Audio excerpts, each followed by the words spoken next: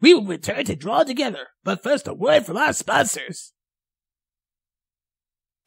Hey there, fellas. Name's Kevin. Pretty common name, but that's alright. Listen, guys, I know that most of you handsome men want to find some girl like this one right here. But I'm here to tell you, you don't really need a woman to please your life. You just need a nice, sexy man like this one. Baby, he can take me on for a ride anytime. And we need to push it on ya fellas. Cause if you don't, you are gonna end up hating us gay men. And we don't like that stuff. So you best listen to us. We're telling you how to think. Bye bye, darlings. This is Kevin signing out.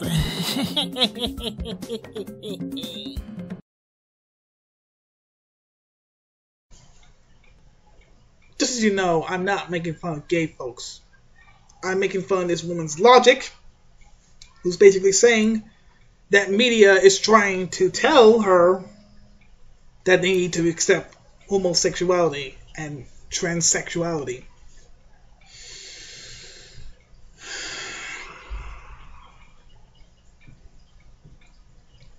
This is some Illuminati shit we're talking about.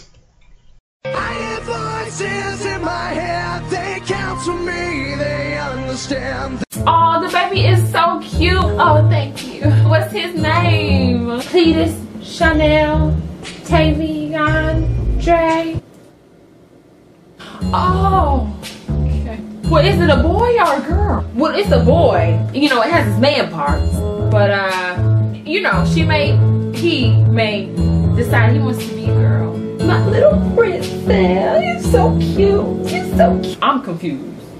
Child, I am too. I'm trying to be funny. Laugh at me for crying out loud. Are you awake yet? Because if you didn't know it by now, the media, yeah, Oh, you said it, sister. Preach. want to control how we think. What? And I'm not having it. For instance, black males are violent, probably have a criminal record, they ain't going to college, and all they want is your purse. Sound familiar? So, uh, let me get this straight. You're actually telling me the media somehow is pushing an agenda towards people like yourself in order to accept homosexuality and transsexuality. This video isn't even about homosexuality, but coming out as trans. So, not only do you not understand the difference between the two, but also you are a complete and utter moron when the media is quote unquote forcing you to accept something. You're under no obligation to like something. The media can never do that. Have you taken a second to even think about why homosexuality is being displayed everywhere in the media? They come to terms that homosexuality is normal and therefore it should be seen as a normal thing? Uh, it seems a little forced. Well, for certain shows, maybe. I know one show that is using someone being trans as some sort of selling point. There's nothing like coming of age in a world where all the good Twitter names are gone because you were born too late, jobs are something you only see in 80s movies, and diet soda gives you diabetes. And it's the first animated show in the history of the world to feature a transgender actress in a lead role. Whoa, you're trans? You didn't know? Being trans shows huge strength of mind. No pun intended, but it takes balls. I'm thinking of replacing my balls with candy and turning the whole thing into a Pez dispenser. Premedicated. Planned. Look, this is in no way an attack on the LGBT community.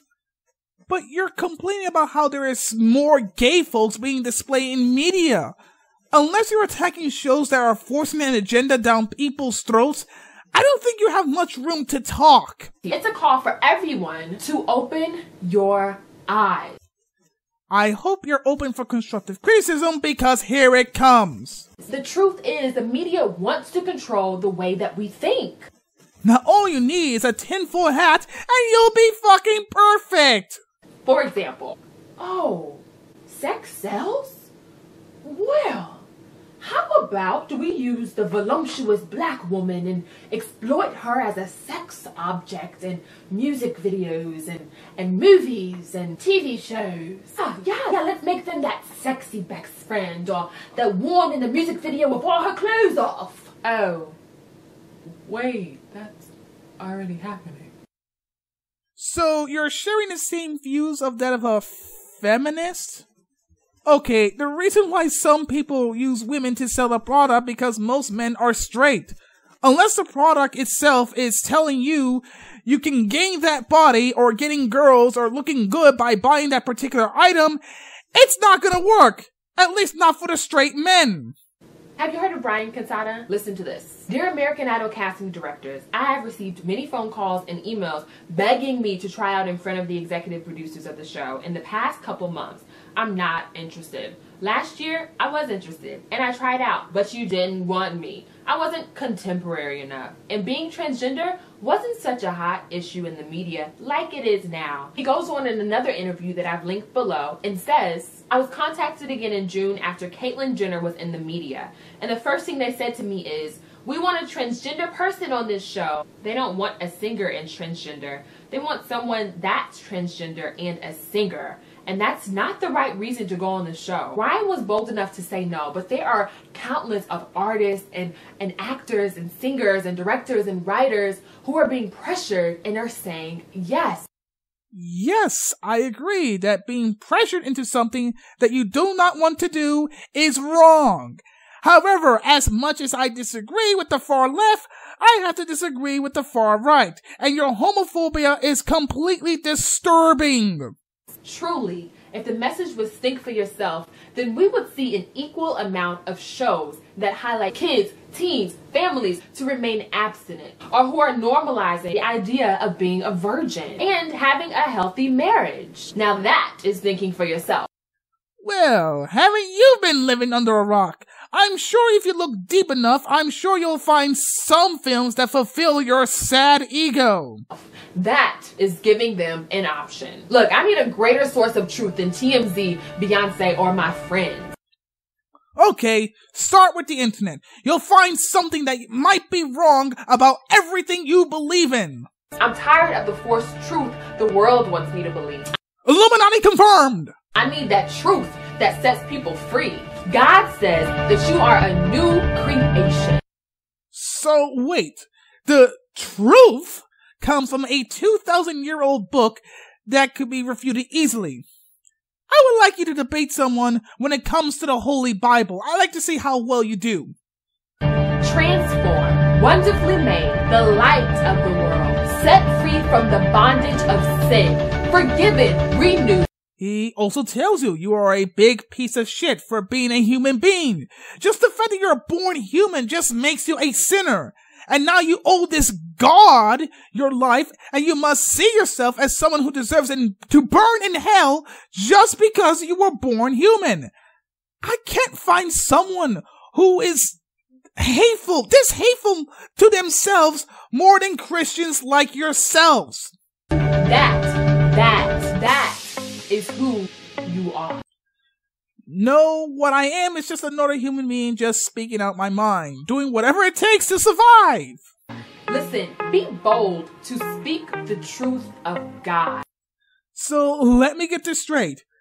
We should be bold to speak the word of God. This is in no way forcing your beliefs down people's throats. Don't you dare let the opinions or the desires or the choice of somebody in your circle, your friends, to make you waver from what you were created to be. So we were created to fulfill the ego of something that may or may not exist. And the only proof you have is a 2,000 year old tome that no one should even take seriously. You were created to be a man. You were created to for marriage to love God. You were created to be confused about your gender. You were created to feel trapped in your body. Yes, listen to this one girl who gets her sources from an ancient book of contradictions. Who are you going to believe? The media who clearly has an agenda to push a specific calculated message or the book of God that says truth to set you free. I choose neither. You're literally trying to tell people that their belief is wrong and your belief is right. You're accusing them of something you are doing right now. There is freedom in the name of Jesus Christ. As far as I can tell, sin comes from free will. And seeing that there is no sin in heaven, the only conclusion is that there is no free will in heaven. So really, there is no such thing as freedom in heaven. You're fucked if you're in heaven, and you're, you're fucked if you are in hell. You just finished watching this video, and I dare you to be bold enough to share it. We gotta raise up our children with confidence in Jesus Christ. Share it, like it, love it, and remember, do not conform. I'll be sharing it, alright. But you won't like it on how I do it. I am the Atheist Gamer. Peace the game. Out.